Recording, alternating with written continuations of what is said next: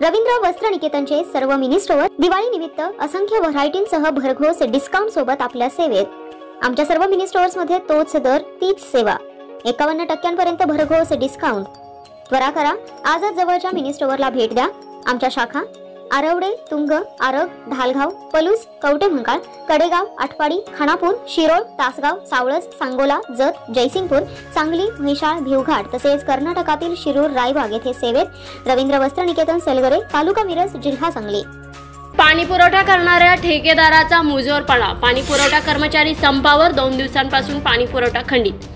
पाणी उशाला आणि कोरड घशाला अशी जत शहराची परिस्थिती.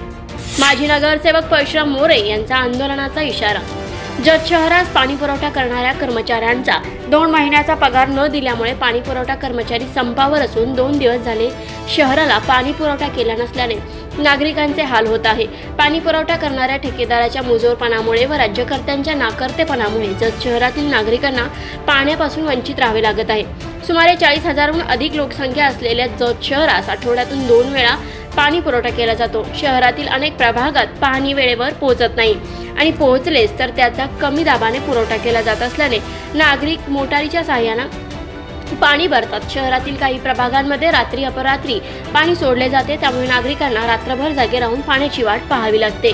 याकडे प्रभागातील नगरसेवक जातीने लक्ष देणार का असा प्रश्न नागरिकांमधून उपस्थित होत आहे. जत शहराची व्याप्ती दिवसेंदिवस वाढत आहे पण त्या मानाने नगर परिषदेच्या सुविधा अपुऱ्या पडत आहेत. नागरिकांना पिण्यासाठी विकतचे पाणी घ्यावे लागते. पाण्याची अडचण पाहून टँकरवाल्यांचेही चांगलेच फावले आहे. जत शहराच्या पश्चिमेला असलेला बिरनाळ तलाव म- पाण्यासह पावसाच्या पाण्याने पूर्ण भरलेला आहे. जत शहराला रोज पाणी पुरवठा होईल इतपत पाणीसाठा बिरनाळ तलावात शिल्लक आहे.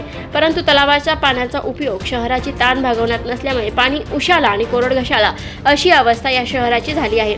याचा फटका शहरातील नागरिकांना बसत आहे. या सर्व बाबींकडे नगर परिषद प्रशासन लक्ष देणार का व शहरातील जनतेची तहान भागणार का असा प्रश्न नागरिकांच्यातून उपस्थित होत आहे.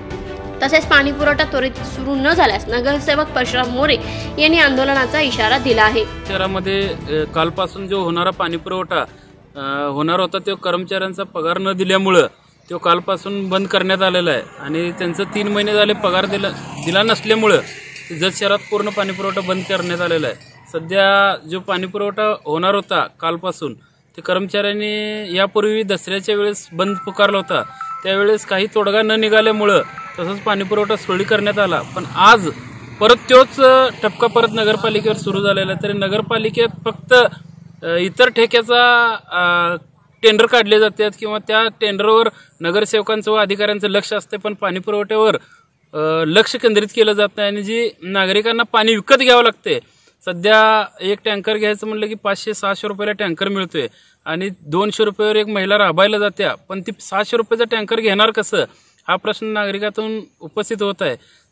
सोमवारपर्यंत जर आज उद्या जर याच्यावर तोडगा नाही निघाला तर सोमवारी आम्ही नगरपालिकेस घागर मोर्चा काढणार आहोत. जॉकेश अदाटे जत.